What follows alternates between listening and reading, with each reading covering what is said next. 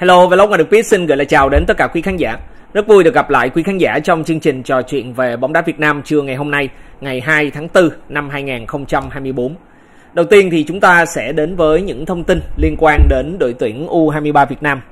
Vào trưa ngày hôm qua, danh sách của đội tuyển U23 Việt Nam đã chính thức được ờ, công bố.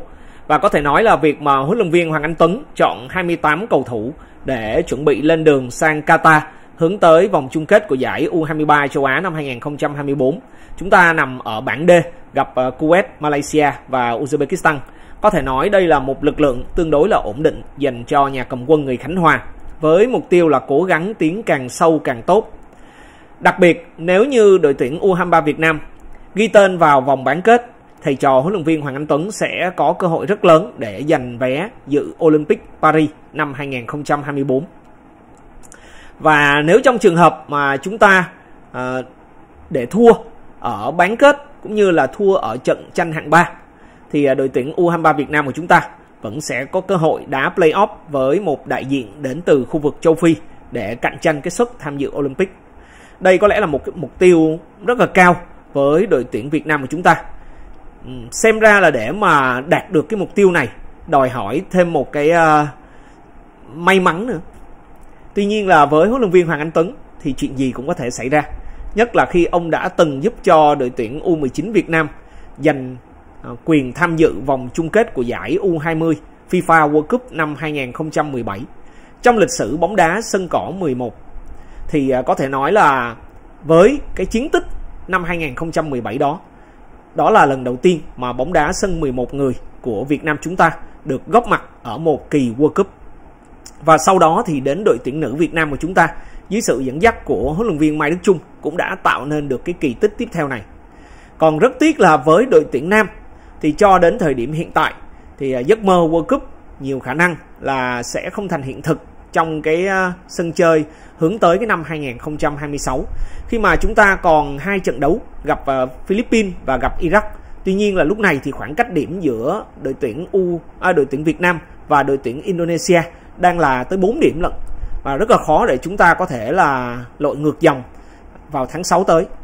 Và chính vì vậy mà bây giờ thì có lẽ là cái sự quan tâm của người hâm mộ bóng đá Việt Nam đều hướng vào đội tuyển U23 Việt Nam khi mà huấn luyện viên Philippe Thuse đã chia tay và cái nhiệm vụ dẫn dắt đội bóng tham dự cái vòng chung kết của giải U23 châu Á được trao cho một huấn luyện viên nội với anh Hoàng Anh Tuấn. Thì à, sau khi mà gặp gỡ một số những người trợ lý cũ thì anh Tuấn hiểu rằng là không thể đưa họ đi cùng với mình sang Doha Qatar. Lý do là họ bận các cái công việc ở các câu lạc bộ, chẳng hạn như là huấn luyện viên Trần Minh Chiến hay là Lê Tấn Tài.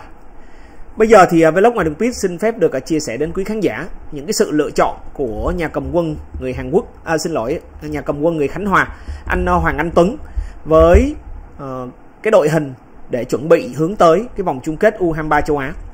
Những vị trợ lý của huấn luyện viên Hoàng Anh Tuấn ở vòng chung kết U23 châu Á sẽ là những gương mặt cũng đã rất quen thuộc với người hâm mộ bóng đá Việt Nam. Trong đó có nhà vô địch AFF Cup năm 2008, đó là cụ trung vệ Lê Phước Tứ. Huấn luyện viên Hoàng Anh Tuấn đã lựa chọn uh, dẫn dắt U23 Việt Nam uh, sau khi uh, huấn luyện viên Philippe Thuse rời Việt Nam người à, bên lựa chọn là VFF mình đọc nhầm nha. Huấn luyện viên à, Hoàng Anh Tuấn là được lựa chọn, chứ không phải là đã lựa chọn. Thì ở đây là danh sách mà các trợ lý, huấn luyện viên Hoàng Anh Tuấn đề xuất để dẫn dắt U23 Việt Nam. Huấn luyện viên Hoàng Anh Tuấn cần những vị trợ lý thấu hiểu triết lý, cách xây dựng lối chơi của mình.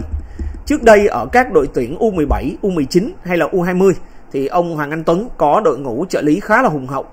Đặc biệt là ở vòng chung kết U20 World Cup 2017 lần lượt là các huấn luyện viên Trần Minh Chiến và Đinh Hồng Vinh. Năm ngoái khi mà dẫn dắt U17 dự vòng chung kết U17 châu Á, huấn luyện viên Hoàng Anh Tuấn đã lựa chọn đội ngũ trợ lý cho mình gồm huấn luyện viên Trần Minh Chiến, Lê Tấn Tài, Trần Đức Cường và Lưu Danh Minh.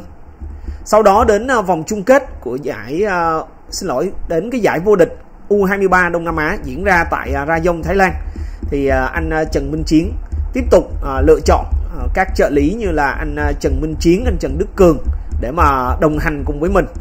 Năm nay khi được à, bổ nhiệm làm huấn luyện viên trưởng của U23 Việt Nam và khoảng thời gian chuẩn bị cho vòng chung kết của giải U23 châu Á lại khá là gấp gáp nên là anh Hoàng Anh Tuấn cũng không thể có được đội ngũ trợ lý cũ bởi lúc này thì họ đang làm ờ, các công việc tại các câu lạc bộ chẳng hạn như anh Trần Minh Chiến là giám đốc kỹ thuật của câu lạc bộ ờ, Con Tum Trần Đức Cường là huấn luyện viên của, huấn luyện viên thủ môn của đội Con Tâm hay là Lê Tấn Tài thì đang làm trợ lý huấn luyện viên cho Trần Trọng Bình ở câu lạc bộ Khánh Hòa và vì vậy mà để kiện toàn cái ban huấn luyện thì là huấn luyện viên Hoàng Anh Tuấn đã lựa chọn Lê Phước Tứ là cựu cầu thủ nổi tiếng của đội tuyển Việt Nam giành chức vô địch AFF Cup năm 2008. Ngoài ra thì còn có anh Hứa Hiền Vinh. Anh Vinh là đang công tác tại à, À, câu lạc bộ Phố Hiến hay là anh Ngô Việt Trung. Xin được à, chia sẻ anh Ngô Việt Trung là dưới thời của huấn luyện viên Park Hang-seo thì anh Ngô Việt Trung thường xuyên được à, nhà cầm quân người Hàn Quốc lựa chọn để làm công tác huấn luyện cho các thủ môn ở đội tuyển quốc gia. Cái giai đoạn mà từ năm 2021 đến đầu năm 2023 thì anh Ngô Việt Trung là thường xuyên góp mặt ở ekip huấn luyện viên của nhà cầm quân người Hàn Quốc.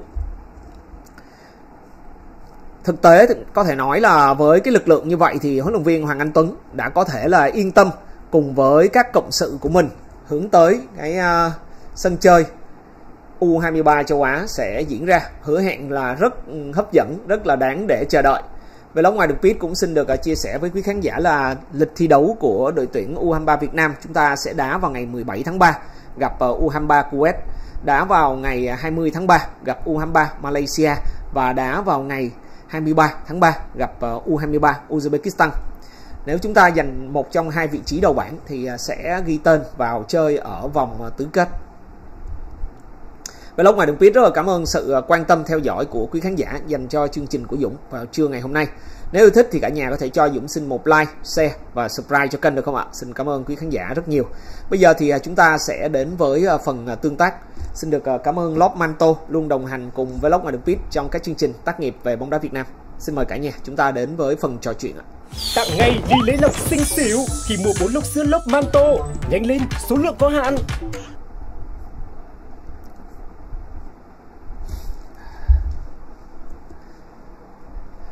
Xin được uh, gửi lời chào đến bạn Cao Đăng Quỳnh, bạn uh, Phúc Nguyên. Xin chào Kim Mây, chúc em và gia đình thật nhiều sức khỏe. Bạn uh, Huy Nguyễn, bạn uh, Tĩnh Nguyễn. Uh, chào em chị like cho Dũng đầu tiên nha. Dạ em xin cảm ơn chị rất nhiều ạ. Bạn Bạch Thanh Tuấn, buổi chiều vui vẻ và hạnh phúc chú ạ. Cảm ơn bạn uh, Tuấn rất nhiều. Bạn Khoa Trần, bạn Hoa Lily tươi Đà Lạt. Cô Đỗ Hiệp ạ. Bạn uh, Lê Hùng, bạn Vũ Văn Lưu. Bạn Nguyễn Bảo Nam. Uh, hello anh Dũng. Giải U23 này các cầu thủ và huấn luyện viên Hoàng Anh Tuấn sẽ khởi sắc vì không chịu áp lực nữa. Người hâm mộ giờ sẽ không đặt nặng thành tích nữa nên cầu thủ cũng thoải mái hơn. Chúng ta cùng ờ, chờ đợi ờ, các em sẽ thể hiện thật là tốt. Nhìn chung thì ờ, danh sách của đội tuyển U23 Việt Nam ở thời điểm hiện tại là tương đối tốt, tương đối tốt.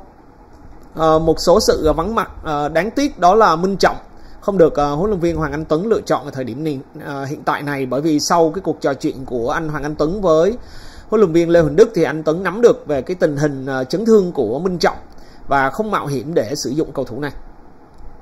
Uh, về trường hợp uh, không lựa chọn uh, Văn Tùng cũng là một cái điều khiến uh, gây ra nhiều tranh cãi. Tuy nhiên là phong độ của Văn Tùng ở thời điểm hiện tại thì cũng không thực sự là tốt và trong danh sách thì à, cũng có nhiều bạn cũng đang được à, thi đấu thường xuyên và mang đến cái sự yên tâm cho huấn luyện viên Hoàng Anh Tuấn như là Quốc Việt, Minh Quang, Vĩ Hào, Thanh Nhàn, Đình Bắc và Nguyên Hoàng. Cho nên là anh Tuấn đã lựa chọn những cầu thủ như thế. Có một điều rất là đáng tiếc ở đợt hội quân lần này đó là trung vệ đang thi đấu khá là hay đó là Nam Hải. Bạn ấy vừa có chiều cao tốt mà hỗ trợ tấn công ghi bàn nữa rất là hay đáng tiếc là Nam Hải gặp chấn thương và bạn ấy không thể góp mặt ở đội tuyển U23 Việt Nam đợt này. Đây có lẽ là sự uh, uh, thiếu vắng đáng tiếc nhất đối với bản thân của huấn luyện viên Hoàng Anh Tuấn á. Xin chào bạn uh, Võ Bá Hoàng. Hello anh, tin vui là trong số các em mới bổ sung lên có Thành Khải của SHB Đà Nẵng, cao đến 1m87. Mong rằng em ấy sẽ được giữ lại để giúp U23 Việt Nam chống bóng bổng tốt hơn. Xin ờ, cảm ơn bạn ờ, Võ ba Hoàng. Thực tế thì ờ, nếu để ý kỹ đội hình của huấn luyện viên Hoàng Anh Tuấn từ trước đến giờ thì anh Tuấn luôn có một cái sự ưu ái nhất định với cái sự lựa chọn thường của anh Tuấn là khoảng 50 cần 50% số cầu thủ có chiều cao trên 1m75 trở lên. ở cả đội hình U17, U20 và thỉnh thoảng khi được trao cái nhiệm vụ ở U23 thì anh Tuấn rất là ưa thích nhóm cầu thủ có chiều cao tốt nằm ở vị trí phòng ngự. Các vị trí còn lại thì anh Tuấn có thể linh động, nhưng riêng ở vị trí phòng ngự thì anh ưa thích lựa chọn các cầu thủ có thể hình tốt để đánh chặn những cái tình huống bóng bổng của đối thủ. Và cho đến thời điểm này thì thực sự mà nói là anh ấy đang lựa chọn ra những cầu thủ đặc biệt là các cầu thủ ở vị trí trung vệ đều có chiều cao ờ, tốt chẳng hạn như là bạn uh, Nguyễn Hồng Phúc này bạn Lương Di Cương nè bạn Nguyễn Thành Khải nè bạn uh, Lê Nguyên Hoàng nè. Trần Quang Thịnh thì cao 1m76 77 thôi thì uh, không không không phải là cao lắm so với vị trí trung vệ. Nhưng mà Nguyễn Ngọc Thắng của Hồng Lĩnh Hà Tĩnh nè. Tối hôm rồi khi mà mình ở Hà Tĩnh thì là sau khi mà xem và tác nghiệp xong cái trận đấu giữa Hồng Lĩnh Hà Tĩnh và Hoàng Anh Gia Lai á trận đó Hà Tĩnh thắng 1-0 á thì ờ, buổi tối đó mình cũng có đi ăn tối với Ngọc Thắng và Thắng rất là là là là là, là, là nói chuyện rất là dễ thương. Uh, và bạn ấy cũng chia sẻ với mình là bạn ấy đang rất là khao khát rất là chờ đợi cái cuộc gọi của ban huấn luyện U23 Việt Nam uh, để được uh, tham dự cái vòng chung kết U23 châu Á. Và bây giờ thì đã thành hiện thực rồi. Tất nhiên là trước đó bạn ấy đã có đóng góp nhiều rồi cho nên là nhưng mà bạn ấy vẫn hồi hộp. Vẫn hồi hộp vẫn mong chờ lắm. Và khi trở thành hiện thực thì dĩ nhiên là rất là vui cũng uh, chúc mừng cho bạn ờ, Ngọc Thắng. Mạnh Hưng cũng vậy. Mạnh Hưng hôm rồi nhắn tin cho mình. Cái thời điểm mà Hưng xem xong cái chương trình của mình quay ở sân Pleiku khi mà mình nói chuyện với anh Hoàng Anh Tuấn thì sáng hôm sau Hưng có nhắn cho mình. Hưng hỏi là anh Dũng ơi à, thầy Tuấn nói như vậy có phải là như vậy là được đăng ký thay thế đúng không? Vậy là AFC cho phép hả anh? Thì mình kêu là đúng rồi. À, dĩ nhiên là cho thì anh Tuấn anh mới nói vậy anh đã đăng ký bổ sung xong hết rồi.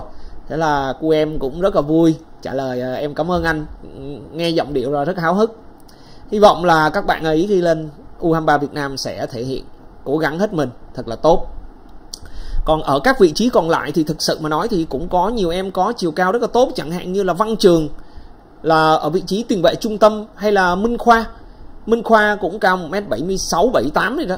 Cũng đâu có phải là thấp, đúng không ạ? Như vậy là một chiều cao tương đối là ổn ở vị trí trục dọc, trục ở giữa đó, trục trung tâm của đội tuyển Việt Nam.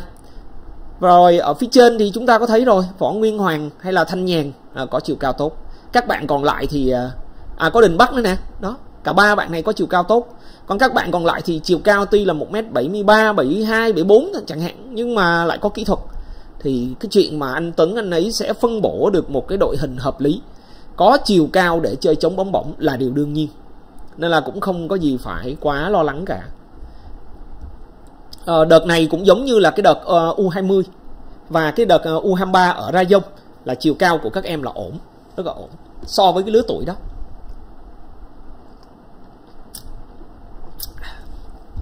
Xin chào bạn Đỗ Hạnh à, Em Dũng khỏe không? Có phải Võ Nguyên Hoàng Đông Á Thanh Hóa mua Đức rồi phải không Dũng? Hôm bữa thì hồi trước thì em nghe nói là mượn Nhưng mà hôm qua có bạn vô nhắn tin cho mình nói là mua Đức cái này thì à, mình không hỏi. Mình cũng không rõ để để hỏi thử anh à, Đức Cao nha. Nếu mà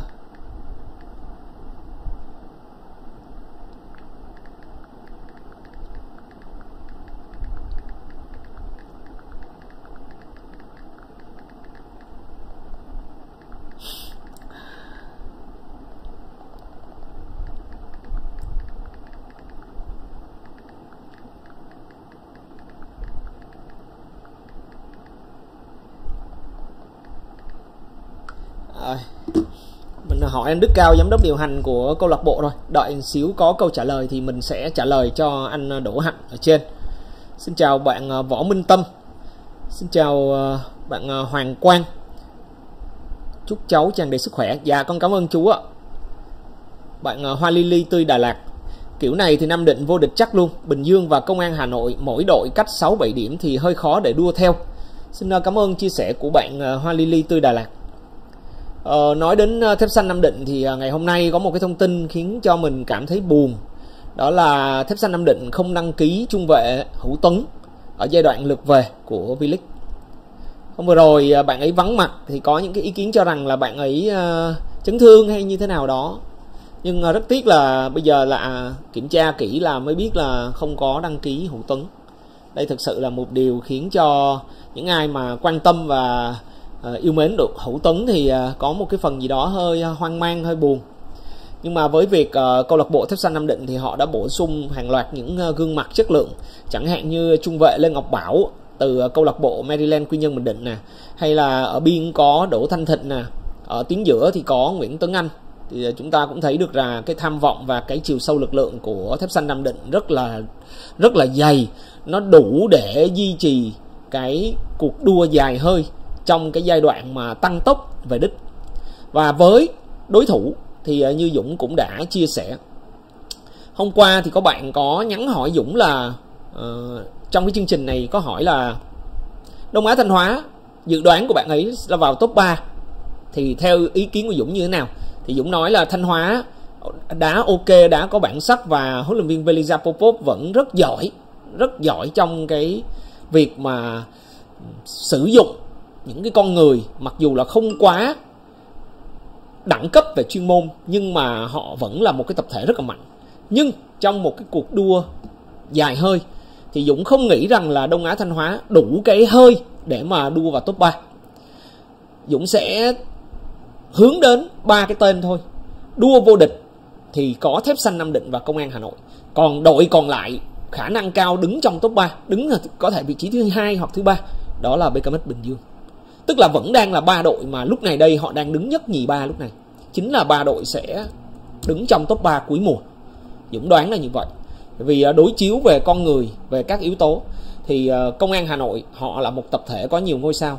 Họ sẽ là cái đối trọng duy nhất và có thể là chỉ hai ba vòng nữa thôi. Thì chúng ta sẽ thấy đây, cuộc đua vô địch chỉ còn là cuộc đua song mã của thép xanh Nam Định và công an Hà Nội.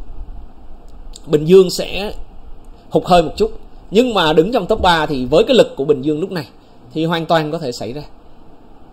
Thì đó là cái suy nghĩ của Dũng thôi. Xin chào bạn à, Minh Trí uh, à, Hello mình like rồi nhé. Trưởng đoàn là anh Quỳnh Hải Dũng. Uh, Câu lạc bộ Con Tum á à, à, U23 Việt Nam U23 Việt Nam thì có thể là Liên đoàn bóng đá Việt Nam sẽ giao cho anh Trần Văn Văn Quỳnh làm uh, trưởng đoàn tại vì ờ, uh, anh Quỳnh thứ nhất là anh Quỳnh cũng là trong ủy viên ban chấp hành liên đoàn bóng đá Việt Nam là đủ điều kiện đi cùng đoàn nè. Thứ hai là khá là thân thiết với anh uh, Hoàng Anh Tuấn nữa cho nên là anh Quỳnh mà đi cùng với anh Hoàng Anh Tuấn thì mình thấy là quá ok. Giống như là hồi họ đi cùng với nhau vậy ở giải uh, vòng chung kết của giải U17 châu Á. Xin được chia sẻ với uh, bạn Minh Trí.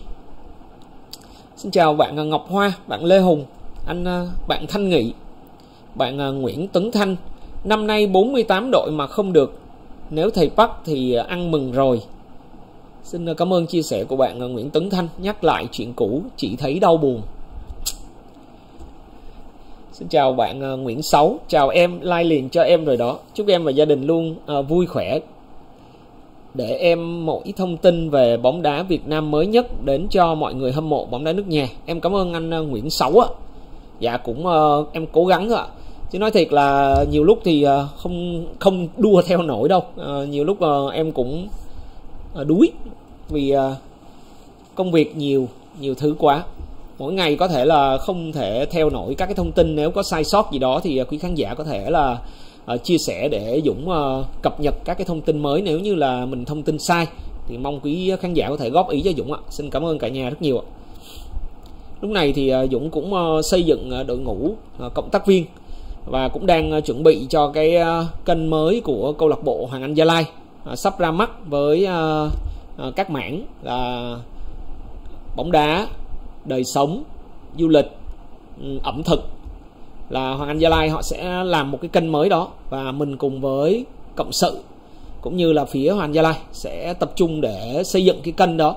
Thì mong là những ai mà yêu thương và ủng hộ câu lạc bộ Hoàng Anh Gia Lai thì hãy ủng hộ cho các cái chương trình bây giờ thì à, mới trong à, kế hoạch thôi thương thảo bàn bạc à, có thể là đầu tháng 5 sẽ chính thức là bắt tay vào làm luôn triển khai luôn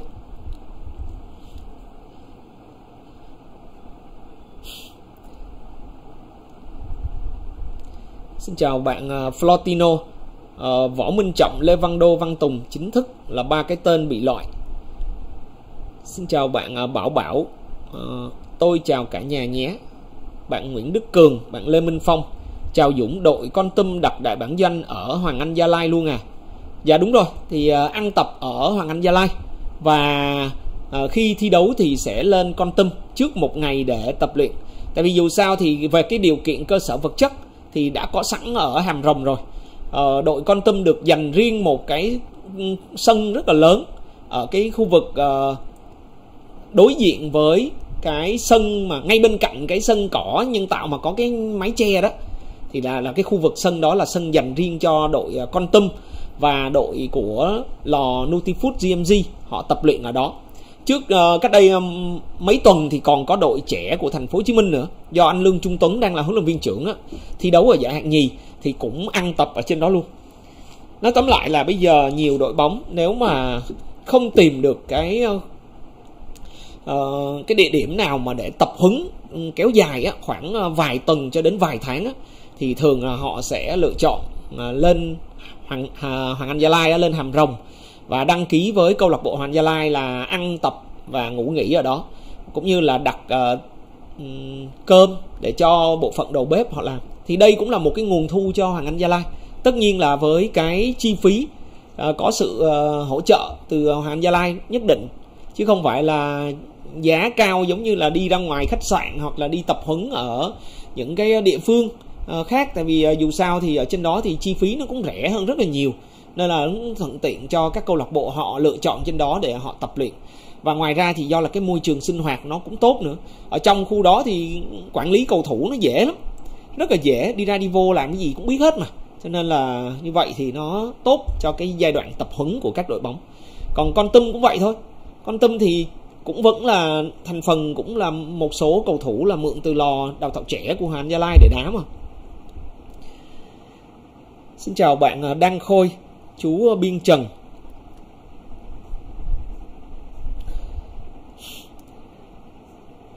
Bạn à, Lê Hùng, em dự đoán là U23 Việt Nam sẽ nhì bảng.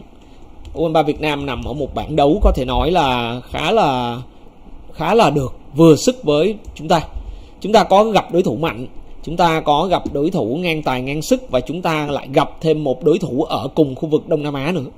Như vậy là quá hợp lý. Còn cái khả năng tiến xa của đội tuyển U23 Việt Nam là tới đâu thì nó còn phụ thuộc rất là nhiều vào các yếu tố. Chỉ mong là với huấn luyện viên Hoàng Anh Tuấn thì anh sẽ giúp cho đội ờ, có được một cái ờ, màn thể hiện tốt, lấy lại phần nào đó cái sự hy vọng cái niềm tin cho người hâm mộ bóng đá Việt Nam sau một cái khoảng thời gian khá là buồn bã vừa rồi Dũng cũng xin được uh, cập nhật đến uh, quý khán giả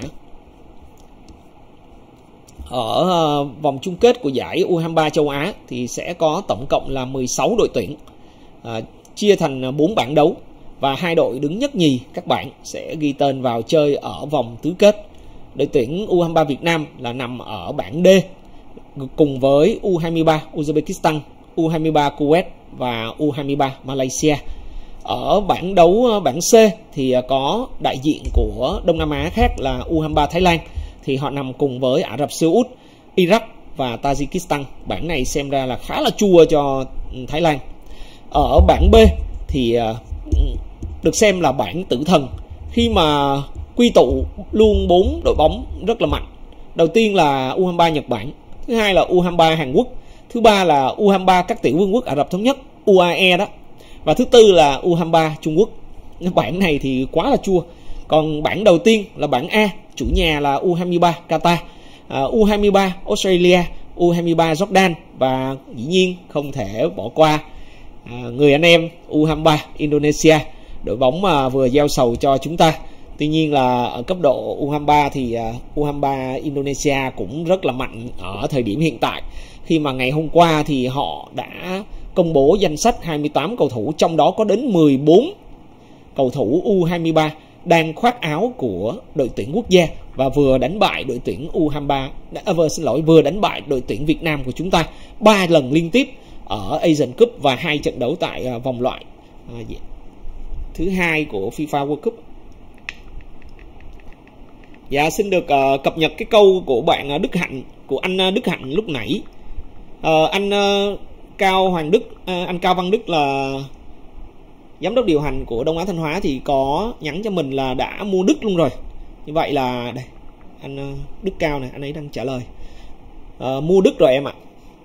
Vậy là xin được uh, chia sẻ cùng với bạn là Đông Á Thanh Hóa mua Đức Võ Nguyên Hoàng nha. Xin được uh, cảm ơn uh, câu hỏi của anh uh, Đỗ Hạnh lúc nãy.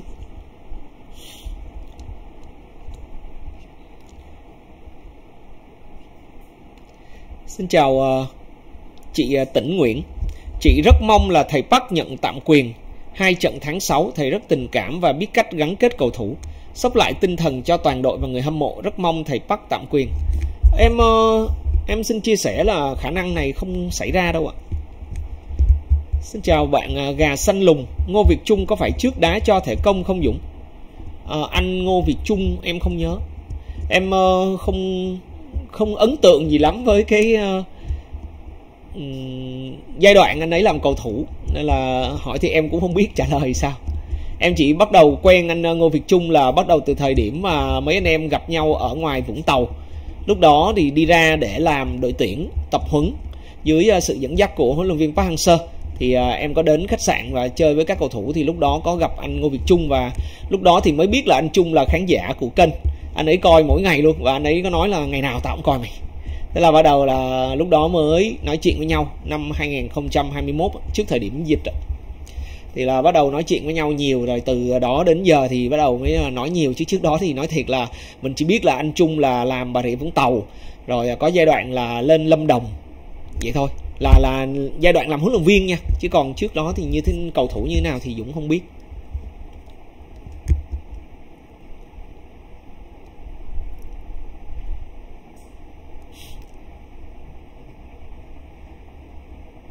Xin chào bạn uh, Cam Lù 36 Bạn uh, Kaoru Mitoma. Em xin lại ba tên. Tên của ba trợ lý ạ. À. Em vào trẻ Ba trợ lý là anh uh, Hứa Hiền Vinh. Anh uh, Lê, Lê Phước Tứ là nhỏ của mình quên. Anh Ngô Việt Trung Anh uh, Hứa Hiền Vinh Và bạn Lê Phước Tứ. Xin được chia sẻ cùng với bạn uh, Kaoru Mitoma. Xin chào bạn uh, Hoàng Tùng. À, chào anh Dũng, chúc anh một buổi chiều vui vẻ. Theo anh thì ờ, U23 Việt Nam có thể vào đến bán kết không anh? Uhm, mình không trả lời được câu này. Bởi vì cũng không biết được các đối thủ đến giải lần này họ chuẩn bị như thế nào. Bởi vì luôn là một cái ẩn số với bóng đá trẻ. Bóng đá ở đội tuyển cấp quốc gia đó thì chúng ta dễ dàng để dự đoán phân tích tại vì khi họ đã đẳng cấp là họ đẳng cấp sẵn chúng ta chỉ có thể giải mã theo kiểu là cơ hội nào cho Việt Nam nếu gặp những đội bóng thuộc uh, top 10 đẳng cấp thế, uh, châu Á thôi. Thì lúc đó chúng ta sẽ dễ tính toán hơn dễ uh, nhận định hơn. Còn với bóng đá trẻ thì thua tại vì kể cả những cái nền bóng đá mạnh đi nhưng mà khi họ cử đội trẻ đi đá thì thua te tua cũng là chuyện rất là bình thường luôn. Đó có những cái giải đấu mà thua chúng ta đã tạo nên cơn địa chấn năm 2018 đúng không ạ? Lúc đó cả nhà thấy chúng ta thắng ai? Chúng ta thắng cả úc ở ờ, vòng bảng này đúng không? Chúng ta thua sát nút uh, ờ, hàn quốc nè. Chúng ta hòa với ờ, uh, syria nè. Rồi chúng ta vào tứ kết là chúng ta lụm luôn iraq nè. Vô đá với qatar chúng ta thắng luôn. Tức là kể cả những cái đội bóng mà ở thời điểm đó có thể là cái nền bóng đá của họ đang rất là cháy rất là mạnh rất là dữ dội nhưng mà cấp độ trẻ là một câu chuyện khác. Cầu thủ trẻ, cái phong độ nó còn phụ thuộc vào cái tâm lý nữa. Đôi lúc là cái tâm lý không tốt thì lại hay cỡ nào thì hay. Đến từ cái nền bóng đá tốt, cỡ nào thì tốt. Vẫn có thể bị thua, vẫn có thể bị loại. Nó là một cái sự thất thường của bóng đá trẻ là như vậy. Ở cấp độ đội tuyển quốc gia thì nó khác hơn rất nhiều. Vì các cầu thủ họ bản lĩnh hơn. Các cầu thủ trẻ mà lên tuyển thì được các cầu thủ đàn anh họ dìu dắt, sẽ đá rất là chững chạc. Đó là câu chuyện hoàn toàn khác nên là bây giờ mà để kêu đưa ra cái dự đoán là có vào được bán kết hay không, làm sao mà dám trả lời? Làm sao mà dám trả lời? Lúc này đây thì chỉ có thể nói được một câu đó là cái danh sách của đội tuyển U23 Việt Nam lúc này mình thấy là ở mức độ là đẹp rồi đó hợp lý nhất rồi đó.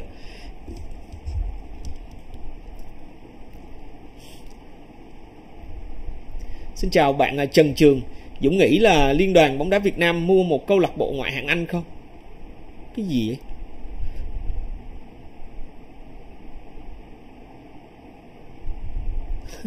em em em không trả lời được mấy câu của anh à, Trần Trường ạ. Vui lòng anh đặt ra những câu hỏi nó mang tính hợp lý giùm em ạ.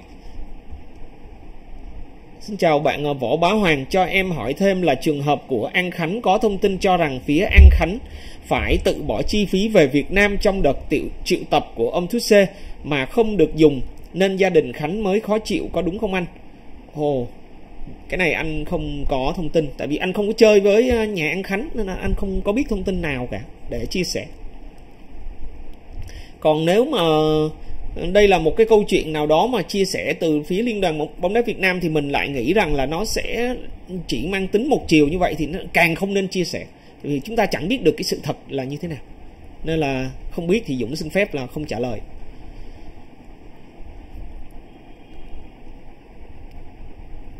Xin chào bạn uh, Nguyễn Thanh Tâm. Bạn uh, Bánh Kem Bắc Giang. Bạn uh, Hải Nguyễn Tháng tư chứ cháu. Tháng tư là cái gì ạ? Bạn uh, Flortino Dạo này ông Hoàng Anh Tuấn gọi nhiều trụ cột của Hoàng Anh Gia Lai. Có thủ môn Trung Kiên Hậu vệ Quang Thịnh Tiền vệ Đức Việt Tiền đạo uh, Quốc Việt. Xin chào bạn uh, Trần Văn Thông. Ờ, chào nhà báo, lứa U23 này quá chất lượng, hy vọng là sẽ làm nên kỳ tích và đem lại niềm vui cho người hâm mộ. Dạ, xin cảm ơn ờ, anh ờ, Trần Văn Thông ạ.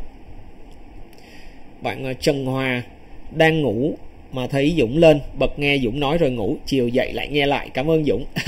dạ, em xin cảm ơn ạ. một chút nữa thì Dũng cũng tranh thủ ra sân thống nhất để xem một trận đấu ở giải hạng nhì quốc gia tại vì hôm nay thì à, sân thống nhất có hai trận nên là mình sẽ tranh thủ lên xem cái trận đấu sớm lúc 4 giờ. Trận còn lại thì à, về mình sẽ bật tivi. À cái trận đấu sớm là đá lúc 3 giờ xin lỗi. Cái trận còn lại là đá lúc 6 giờ tối. Ờ, giải hạng nhì thì à, cũng có những cái sự quan tâm chú ý khá là thú vị. Chẳng hạn như là thành phố Hồ Chí Minh thì có có ba đội lực à, ờ, có có hai đội là định hướng Phú Nhuận nè với lại đội trẻ thành phố Hồ Chí Minh. Thì à, ngày hôm nay thì mình sẽ xem cái trận đấu à, vào lúc à, 15 giờ giữa câu lạc bộ định hướng Phú Nhuận và câu lạc bộ Lâm Đồng. Quý khán giả có thể lên cái website của VFF, VFF Channel ở trên YouTube cũng có, trên ờ, Facebook cũng có để xem mấy cái trận đấu tại giải hạng nhì. À, tuần sau thì ờ, tuần này thì cuối tuần mình đi về đi Đà Nẵng về xong thì mình sẽ xem cái trận đấu giữa trẻ thành phố Hồ Chí Minh với định hướng Phú Nhuận đây đều là những cái trận đấu khá là hay và hấp dẫn có nhiều người quen đang uh, thi đấu trong uh, hai câu lạc bộ đó nữa.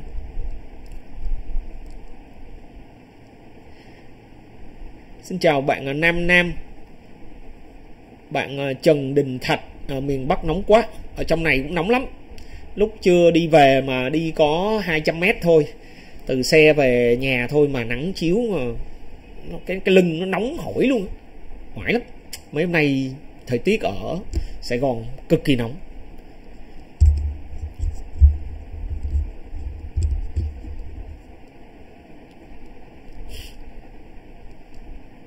Xin chào bạn à, Phùng Văn Văn. Tiêu chí nào để đánh giá của huấn luyện viên để uh, cho ra người phù hợp với bóng đá Việt Nam?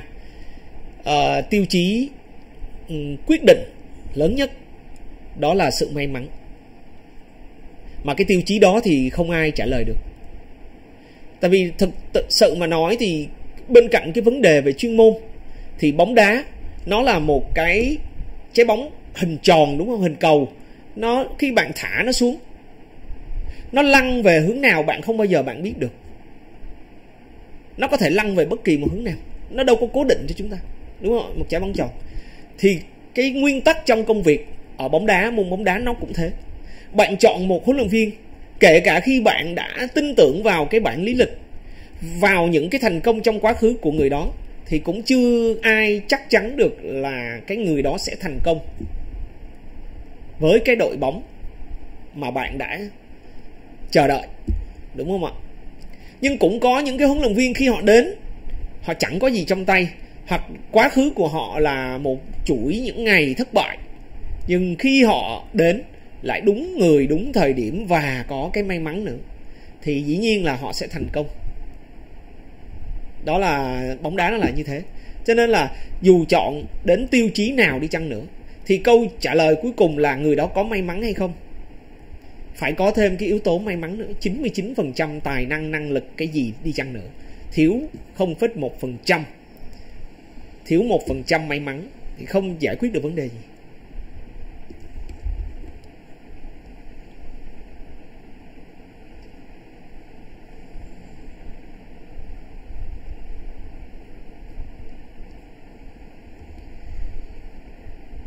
Xin chào bạn à, Gấu Chuột Vlog.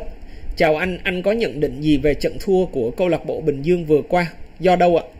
Ừ, một phần nào đó là các cầu thủ Bình Bình Dương họ chịu cái ảnh hưởng của cái lịch thi đấu. Với cái việc mà liên tục gián đoạn như thế thì nhiều đội bóng họ rất là khó để bắt nhịp. Họ, họ khó lắm, họ khó để có thể là có được cái sự làm làm nóng và khi họ vào những cái trận đấu mà đã bị gián đoạn trước đó vài tuần đi quay lại đá thì là họ khó mà ăn rơ được với nhau hết. Thì à, Bình Dương cũng là một trường hợp như thế. Nhiều câu lạc bộ cũng bị ảnh hưởng như thế. Có những câu lạc bộ thì à, họ bị ảnh hưởng ít hơn họ chơi tốt hơn họ tận dụng tốt hơn cái thời điểm này để họ có điểm. Mình nghĩ rằng á để đưa ra các cái đánh giá tốt nhất đó, là khoảng giai đoạn giữa tháng 5 tại sao lại như vậy? Bởi vì bắt đầu từ à, cuối tháng 4 này là một số trận đấu ở cúp quốc gia sau đó là đến đầu tháng 5 là V-League chính thức quay trở lại từ vòng 16 và từ thời điểm đó sẽ đá liên tục liên tục với mật độ 4 năm ngày một trận, 4 năm ngày một trận liên tục như thế. Các đội bóng có nóng hay không là bắt đầu nóng máy từ cái giai đoạn giữa tháng 5. Và là coi như là đội nào mạnh là mạnh hẳn mà đội nào yếu là bắt đầu là đắm đuối mệt mỏi. Thời điểm đó sẽ đưa ra được cái đánh giá chính xác nhất cũng uh, xin được uh, chia sẻ trước khi mà khép lại cái chương trình ngày hôm nay đó là vào ngày uh, 5 tháng 5 thì à, câu lạc bộ Hoàng Anh Gia Lai họ sẽ có chuyến làm khách trên sân hàng đẩy gặp câu lạc bộ Thể công Việt Theo thì uh, như là một cái mong muốn của rất là nhiều khán giả trước đó ở các tour thì uh, mọi người có nhắn cho Dũng và nói là chưa bao giờ đi Sapa. Nên là họ rất là mong chờ một cái chuyến nào đó Dũng sẽ tổ chức một cái tour du lịch đi uh, Sapa. Và mình đã phát hiện mình đã xem lại cái lịch thi đấu và mình thấy cái ngày 5 tháng 5 khi mà Hoàng Anh Gia Lai ra đá ở trên sân hàng đẩy. Thì đó là một cái thời điểm quá tuyệt vời để có thể là làm một cái tour du lịch cho những cô chú, anh chị và các bạn nào mà ở miền Nam. Đi cùng với Dũng ra, bay ra Hà Nội, sau đó đi Sapa chơi, rồi quay trở lại xem trận Hoàng Anh Gia Lai đá với thể công việc theo xong rồi là về lại Sài Gòn là quá đẹp. Thì à, cái tour này mình đang ờ, lên cái kế hoạch là bắt đầu đi từ chiều ngày à, 1 tháng 5 và chúng ta sẽ có mặt tại Sapa vào sáng ngày 2 tháng 5 chúng ta sẽ đi tàu uh, tàu lửa từ uh, ga Hà Nội lên Lào Cai. Sau đó là từ Lào Cai xe của bên Sapa TV tức là bên bạn ờ, Hải đó Hoàng Hải Sapa TV á. Youtuber cực kỳ nổi tiếng ở trên youtube mà cả nhà biết rồi đó. Bạn đó có chuỗi uh, hệ thống nhà hàng và khách sạn ở trên Sapa. Một người con Sapa rất là nổi tiếng nổi tiếng cả nước á, thì là bạn ấy sẽ phụ trách cái phần mà tiếp đón đoàn và dẫn chúng ta đi à, tham quan trải nghiệm Sapa. Thì à, đến ngày à, đến tối ngày 4 tháng 5 thì đoàn sẽ đi tàu trở về lại Hà Nội. Nghỉ ngơi sáng ngày 5 tháng 5 là về tới Hà Nội thì bắt đầu là nghỉ ngơi. Buổi tối là ra sân để xem Hoàng Anh Gia Lai đá là quá đẹp luôn. Thì mình đang đợi báo cái chi phí xong thì mình sẽ sớm gửi đến thông tin cho quý khán giả à, cô chú anh chị nào mà quan tâm đến tour đi Sapa thì à, liên hệ trực tiếp với Dũng qua số điện thoại của Dũng. 0909 608 754 mình sẽ tư vấn đầy đủ sau khi ờ, có lịch trình cụ thể chi tiết. Rất cảm ơn cả nhà đã dành thời gian để theo dõi livestream của Dũng vào trưa ngày hôm nay. Nếu yêu thích thì cả nhà có thể cho Dũng xin một like, share và subscribe. Ngoài ra thì những trang phục của đội tuyển Việt Nam thì mình cũng chính thức quay trở lại mở bán tuần à, bắt đầu hết cái chuyến tác nghiệp vào ngày mai đi Đà Nẵng nữa là xong rồi. Ở nhà thì chủ yếu là sẽ kinh doanh cái sản phẩm trong lúc mà không có giải gì ở Việt Nam diễn ra ngoài à, giải hạng nhì. Đây là những chiếc áo khoác của ngoài đường tít mà cả nhà đã thấy đoàn của mình mặc rất là đẹp trong à, những cái chuyến đi vừa qua. Uh, 350 ngàn cho những chiếc áo khoác. Có size S cho đến size XXL là dành cho những cô chú anh chị những bạn mà chiều cao từ một mét rưỡi trở lên nặng từ à, 50 kg trở lên là có thể mặc được size S rồi. Và những bạn mà cao đến 1 mét 85 uh, ờ, nặng khoảng 90 kg thì vẫn có thể mặc được những uh, chiếc áo size lớn nhất là XXL xin được uh, cập nhật đến quý khán giả. 350.000 chiếc. Quý khán giả nào quan tâm thì có thể là liên hệ với vlog ngoài đường quýt qua số điện thoại của Dũng 0909 608 754 hoặc là lên thẳng website của Dũng pit.vn còn đây là những chiếc áo của câu lạc bộ Hoàng Anh Gia Lai, áo của công an Hà Nội. Mình à, có đầy đủ hết ạ. Áo đội tuyển Việt Nam cũng có đầy đủ luôn. Quý khán giả nào mà muốn đặt mua cứ liên hệ trực tiếp với Dũng. Hoặc là lên website pit.vn là có đầy đủ các cái trang phục này. Đây là áo khoác của đội tuyển Việt Nam này. một bộ, có cả bộ cùng và áo. Đây là áo thi đấu của đội tuyển Việt Nam. Giá là 688 ngàn một áo. Có hai màu trắng và đỏ rồi, rất là cảm ơn sự à, quan tâm theo dõi của cả nhà bây giờ thì à, Dũng à, chạy ra sân thống nhất để tác nghiệp một chút hẹn gặp lại cả nhà trong các chương trình bình luận tiếp theo ạ xin chào chúc cả nhà một ngày thật là vui vẻ